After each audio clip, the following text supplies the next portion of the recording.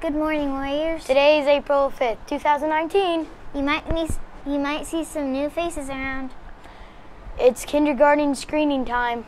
This month's habit is habit 6 synergize. I synergize when I play baseball. I synergize when I work on a class project. Savannah, what's for lunch today? For lunch today, we are having pepperoni pizza, cauliflower, corn, and mixed fruit. Anthony, are we celebrating any birthdays today? There are no birthdays today. Please stand for the Pledge of Allegiance.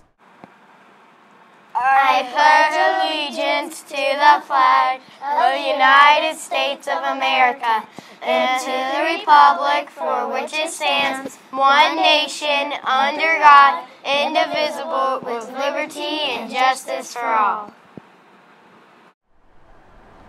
Please remain standing for a moment of silence.